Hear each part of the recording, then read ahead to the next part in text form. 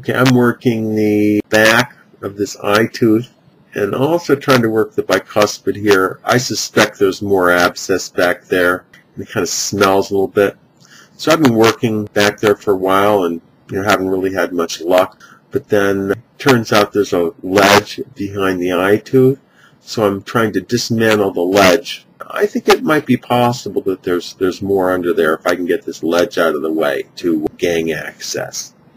It may largely be dismantled. And there's definitely a smell back there. So there's something going on here. I just have to figure out how to get to it. And I'm using the straight sickle. I could use the Montana Jack, but I'm using the straight sickle because uh, it gives me a, a generally a better sense of where I am. I got something. Plus there's a smell. I'll try the Montana Jack because of the angle. That's what I'm going to try to do. Work my way under something ledge-like. Huh. Here. See, I'm imagining there might be more abscess back there being blocked by the ledge. Something there. There's definitely a smell. Maybe I can go back to this one. I'll go back to this one. Okay, well I made some progress. I got some stuff out. There's no question about that. Another possibility, I could switch to the toothpick and then see if I can dislodge anything. I know it's this area back here.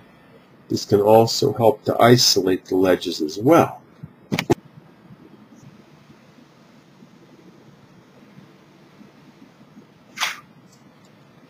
Okay, nothing of significance. A whole bunch of work, and I ended up with small amount of crud behind the eye tooth.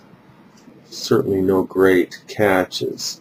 Plus there's the smell too. Now, you know, maybe some of that's being liberated, but I think there's something in there. I just can't quite get to it. Okay, well, maybe I did break that ledge.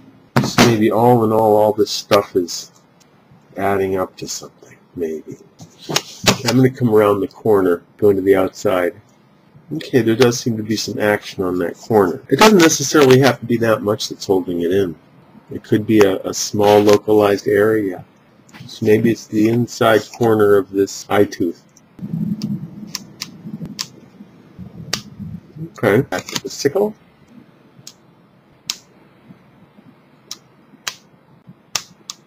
Here's some blood. Yeah, it's definitely a piece of calculus. It's adding up.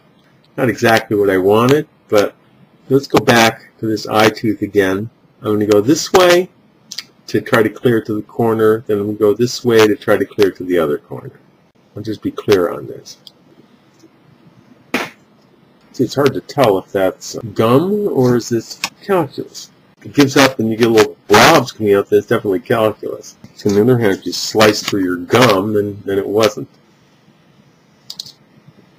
That's basically why I want everything to give itself up. I really don't want to have to get brutal with any of this stuff. Okay, I'm going to go to the outside now. Hmm. Here. There's some stuff. Let's try that some more. I'm going to start at here, then come up,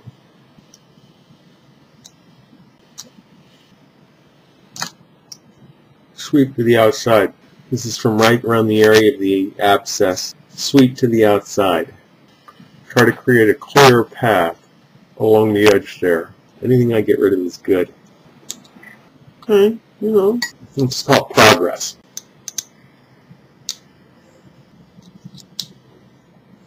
Let's go back with the sickle.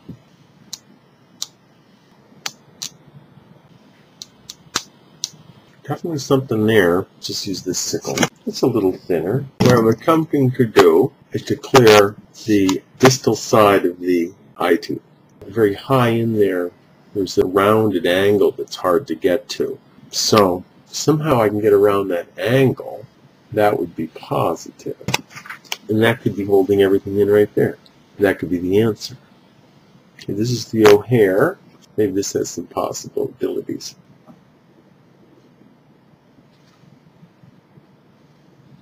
Hmm. No, no, no. Let's just do this one.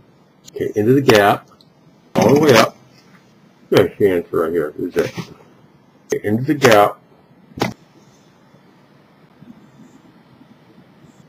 Back to the sickle again. Okay. A little bit, not much.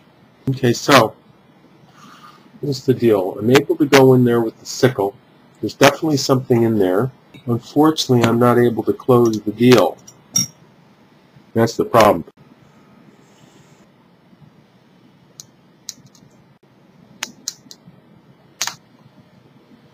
There. Big piece. Maybe that's the answer right there. Okay, so I came across from the bicuspid. That's the answer. I came across from the incisor. I did it as much as I could. Now I come across from the bicuspid. Okay, I might be onto something. Okay, that's a pretty significant piece I got out of there. This is what it may be looking like. It might be there's a second abscess between the bicuspid and the eye tooth. So I sweep around from the bicuspid. It's mixed in with the gum. Yeah, um, almost always when I think it's mixed in with the gum, it ends up being calculus. Almost always. Sweep around from the bicuspid, clear the corridor. There. Okay. It's not going to be gum, it's going to be calculus. And what happened, there, with the corridor clean, it becomes easier to go up in the deeper part. There. There. Just break it off. Screw it. It's not gum, it's calculus. Okay, good. So we're starting to, I don't know why it takes so long. Same thing, sweep around from the bicuspid, just pull. Forget about it. Okay, it's starting to add up. Okay, what's more or less happening, this is taking a long time, between the bicuspid and the abscess, there's calculus on the bicuspid that's blocking access to go deep in between them where I think there's the action, which is largely where I thought it was all along.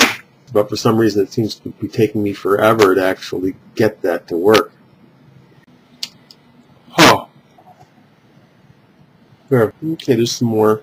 Part of it is I had just have a misplaced sense I'm going to cut through the gum, but there is no gum there. It's just the calculus. So I think i got to get over it. Another big piece. There. Oops, there's no gum there.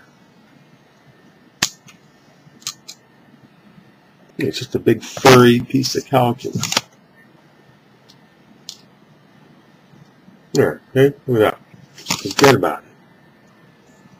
There. There's no one right there. Same thing. Okay, pretty significant. Same thing. Another piece. Okay, so this is ending up significant. So let's try this again.